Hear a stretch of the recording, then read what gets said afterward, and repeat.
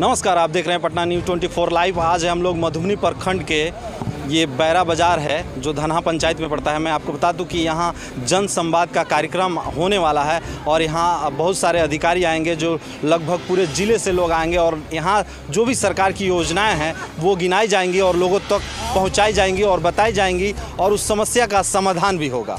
Sir जो क्षेत्र में अवैध नर्सिंग होम जो चल रहे हैं उसके ऊपर किस तरह की कार्रवाई की जाए आप देख रहे हैं कि लगातार हम वहाँ पर प्रशासनिक अधिकारियों को देकर सिविल सर्जन के माध्यम से अवैध नर्सिंग होम की छापामारी करवा रहे हैं उससे लोगों पर कार्रवाई की जा रही है। और खास करके बगहा अनुमंडल में दो दो एफ़ हुए हैं। अनुमंडल पदाधिकारी ने अपने दिशा निर्देश में जाँच कराई है और गलत पाए जाने वाले लोगों को सील किया है। उन पर कार्रवाइयाँ भी चल रही हैं। आप अगर ध्यान आकृष्ट कर रहे हैं हमारे संज्ञान में आप दिए हैं तो निश्चित रूप से इसके जाँच जांचोपरंत कार्रवाई करेंगे। एक और चीज़ जो आज के साथ जो बंदी था इसको थोड़ा सा प्रकाश डाल दें। अरे तो सरकारी जो योजनाएँ चल रही हैं कार्यक्रम चल रहे हैं सरकार की जो लोक कल्याणकारी योजनाएँ हैं उसको आम लोगों तक बताना और उसके बेहतरी के लिए कि और कैसे बेहतर कार्य किया जाए, कैसे गुणवत्तापूर्ण कार्य किया जाए, लोगों से, आम लोगों से, जनप्रतिनिधियों से इसमें सुझाव भी लिया गया उनकी प्रतिक्रिया भी ली गई।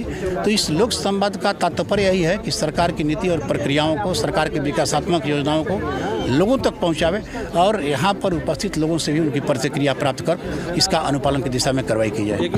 मैं आपको बता दूँ कि यहाँ बहुत सारे समस्याओं का भंडार था, लेकिन उसमें से कुछ पॉइंट किए गए हैं, जिस, जिसमें जितेंद्र गुप्ता जी का समस्या, दूधनाथ कुशवाहा जी का समस्या और प्रदीप ठाकुर जी का समस्या ऐसे ऐसे जो समस्या हैं, उस सर के द्वारा आश्वासन दिया जाएगा। अब देखने वाली बात ये होगी कि जो भी समस्या है, उस पर कार्य होते हैं या बाकी जो सरकारी काम की तरह, ये भी धरे के धरे रह जाती है। ये खबर दे रहे हैं मधुबनी ब्लॉक से Sarfuddin Ansari, Patna news twenty live के लिए। जय हिंद।